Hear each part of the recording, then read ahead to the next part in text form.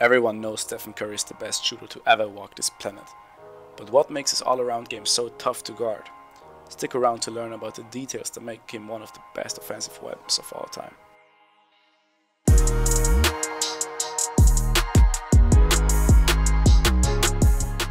Let's start off with the shot that turned him into a legend. What makes this one so special is his supreme confidence in his shooting ability and the fact that he made 11 threes prior to this one.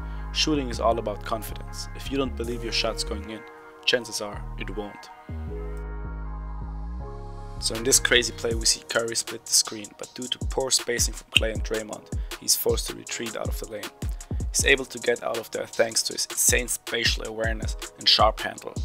He then sees the big man take down his hands and that little bit of daylight is all the two-time MVP needs to make a shot. Now I want you to take a look at his shot. There are a few keys here. First, he's on his toes when he pulls the trigger so he can use the elastic energy of his Achilles to have more power and get it off quicker. Second, look at his right leg and release point. The moment the ball leaves his hands, he's squared up to the rim. That allows him to make the shot. This famous ankle breaker is a perfect example of why you should never pick up your dribble as a guard that dribbles through the lane. Curry hits CP3 with the perfect double behind the back and nails the shot.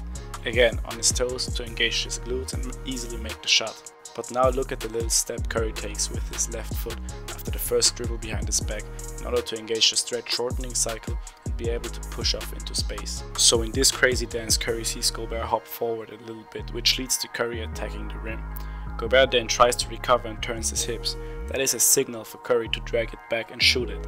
But Steph uses a shot fake which Gobert bites on and from on, there on it's over. Curry splits his feet to engage the stretch shortening cycle and blows right by Gobert. But the play is not over yet. The help rotates over to contest the layup. Curry then jumps, shows the ball early and hits him with the up and under. Look how Curry tucks in his legs in order to shift his center of gravity and get some extra hang time. Before we get into this play, look how high Curry's defender is standing. That's because defenders must respect Curry's range or he'll just pull up. So Steph uses a fake spin which gets his defender out of position. He then fakes using the screen and his defender bites on it by foolishly reaching in.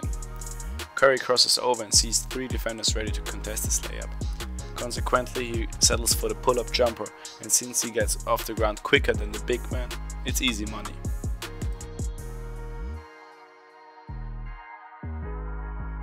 Now I want to thank you guys for watching this video. If you'd love more of this content, leave a like and subscribe if you haven't already. Tell me in the comments which player you want to see next. Keep building.